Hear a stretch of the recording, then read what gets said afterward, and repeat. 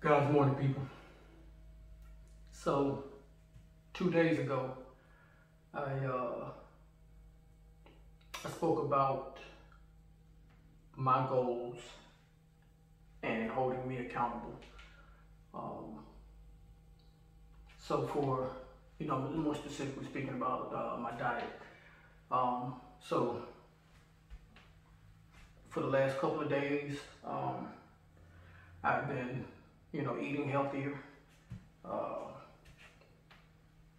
it's not easy. It's been really difficult because um, I, have I've had to eat smaller portions, uh, healthier food, um, food with essentially a little less flavor, um, and choose healthier snacks. Uh, so far, I've been pretty successful, but it's only been today is the third day, it's only been two days. Um, where it becomes more difficult it is when I really start craving the stuff that I had gotten accustomed to when I fell off of my diet and want to revert back. Um, so, uh, as I move forward, I got to continue to think in the mindset that if I'm going to achieve my goal, I have to be willing to sacrifice some of the things that I've grown accustomed to. Um, and I don't think I'll have too much of a problem doing that. I've done it before. I can do it again. Um, but I don't expect it to be easy. So what I'm trying to get at is whatever you want to do, whatever it is that you desire to do, whatever it is that you aspire to do, you can do it if you stay dedicated to it.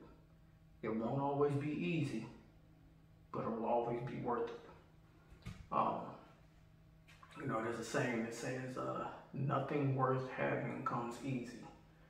Um, and the things that you want, the things that you desire, the things that you aspire are all worth having. But that just means you got to put in the work to get it. It won't come fast, it won't come easy. But as long as you put in the work, you'll appreciate it, you'll grow, and you'll be able to look back one day and say, man, that's where I was, and this is where I'm at now. Um, know, I've heard, I've heard the, uh, the saying, uh, I'm not where I want to be, but thank God I'm not where I used to be. Um, for me, for example, uh, some years ago, I was probably the heaviest in my life at about 220, 225 pounds. Um, right now, I'm at about 190. I'm not where I want to be, but thank God I'm not where I used to be. Um, so as I continue to to attain, to strive to attain my goal, I gotta con continue to remember that it's not going to be easy. I got to keep working. I got to keep working hard. I got to keep pushing forward. But it's all possible as long as I'm determined to get there. So whatever it is that you want to do, it's all possible as long as you're determined to get there.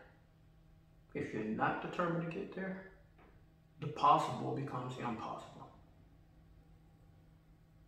Your mindset, your determination, your desire, your drive, your push is what makes the impossible possible.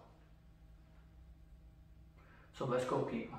Turn your impossible into possible and let's go achieve those goals. Y'all have a blessed day. Make progress, not excuses.